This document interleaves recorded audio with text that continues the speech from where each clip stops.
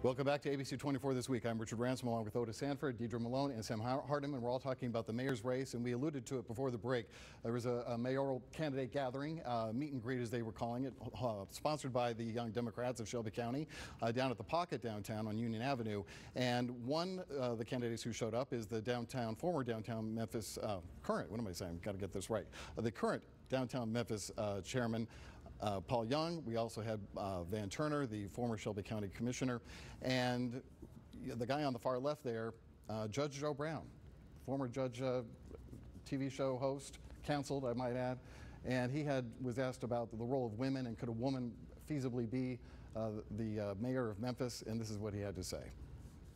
Some things men do real well, and one of the main problems is I don't want to get crude about it, but some places you need to go to exercise leadership some of the good ladies in here would get drugged into an abandoned apartment and raped. That's one of the problems. And you heard the groans there at the end. Deidre Malone, I'm sure you were one of those groaning. Oh, what's wrong with him, Richard? What's wrong with him? I mean, you know, you have a police chief that's a female, a fire chief that's a female, and women leaders across this country. I mean, it's just asinine for him to say something like that and offensive to the majority of the people that vote in Memphis and Shelby County who happen to be women. So, um, please let's not mention his name again.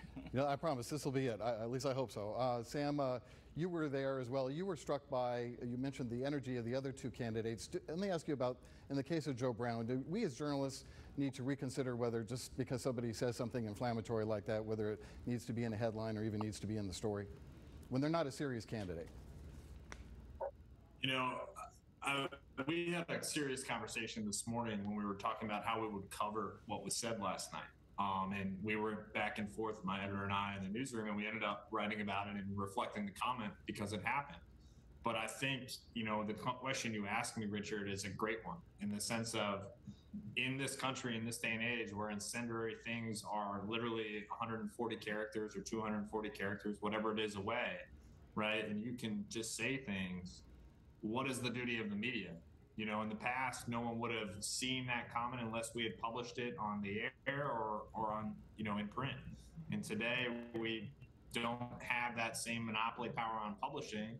And so, you know, what, what should we do? And, and I'm sort of conflicted, but just because you're running for office and saying, you know, really obscene things that are chauvinistic doesn't mean you warrant coverage going forward. Your thoughts, Otis? Uh, yeah, and I'm going to talk about this from a standpoint of uh, journalism ethics, because that's what I teach, uh, Richard. And, and I think Sam hit on what we're talking about here. Uh, this was said in a public setting, so a lot of people heard it. And some of them, no doubt, put it out on social media because Sam is right. We don't have a monopoly on dissemination of news. So um, you had to report it uh, because it is news. And he is a public official, I mean, a public figure. He's no longer a public official. Um, but in reporting it, we should also condemn it. Uh, and that's what Deidre is doing. That is what I have done. That's what you did. Uh, we should all condemn this and, and, and vow that uh, we are not going to give this guy any kind of airtime or treat him uh, in any way uh, as a credible candidate here. I think he does need some help. Uh, I think he needs some kind of um, mental help here because uh, he said this just to get some reaction. Uh, even the apology that I think Tori Harris gave uh, at the end of the event on behalf of, of, of, of, the people who put it on, he came back and said, oh, get over it. Uh, so he's only trying to get some attention. We should not, and I've said this before, don't give him any credibility in this race because he's not a credible candidate. Well, Memphis has a history of, of gadflies, right, that run for mayor especially. I don't know what's the attraction of that office, but there is that history there, whether it be Prince Mongo, I could go on and on. But to me, it's different this time. Uh, it's more serious. This race is more serious. You've got some very serious candidates running. Right. Uh, they all want to do what's best for the city. He's just in it for the show.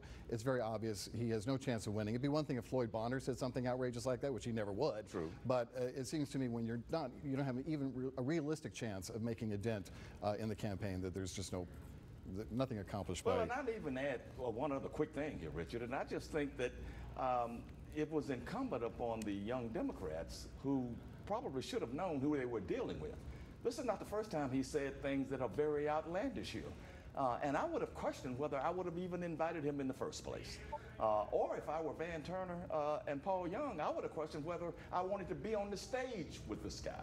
And I probably would not have if I were running. You see, Michelle McKissack uh, didn't show up, and, and Floyd Bonner didn't show up. Uh, I would not have shown up at this rally. I think you make a good point there. I think it's a, a responsibility of the candidates too to say, I'm only going to have a serious conversation here. And if you feel obliged as the sponsoring organization to invite everybody, that's that's on you. That's but I'm not you. showing up. I'm not going. I'm not going to be there for that. okay, I don't want to belabor this, but uh, we'll move on. But uh, I think we all made our point there.